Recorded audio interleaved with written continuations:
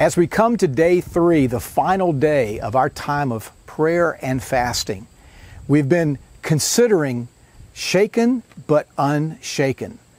That everything that can be shaken in this world will be, but we know we are inheriting an eternal kingdom. And we've been looking at the various means by which we need to approach how we do life in this moment. And one of the things that we learn that even when things are shaking, God still calls us to do certain things.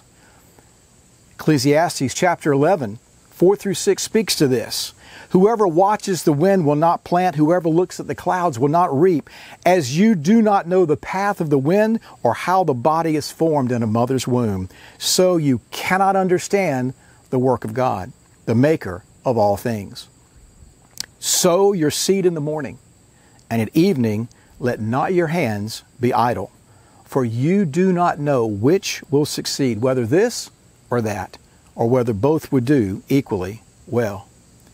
You see, a farmer is always looking for the ideal moment to sow those seeds. As soon as the, the snow stops and things dry out and it begins to warm up, the farmer is considering those ideal moments to put his seed in the ground. And yet, rarely is it ever ideal. It's rarely perfect. A fisherman is not just waiting for beautiful blue skies and perfect weathers to, to, to, to put out his boat and to go out and fish. Likewise, builders Builders are, again, looking for ideal conditions when perhaps 2 by 4s don't cost $5 a piece. And yet, they're builders. Builders build, regardless of the conditions.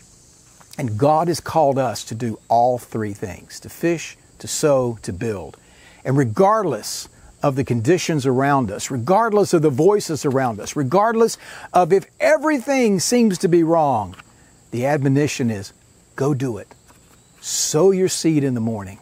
And let me tell you, like Isaac sowed in a time of famine, as we sow, as we plant, and as we fish, even in the moment, even in these uncertain times, God Himself will bring the increase. Saints, thank you so much for joining us in this time of prayer and fasting. Trust God has met you in a tremendous way.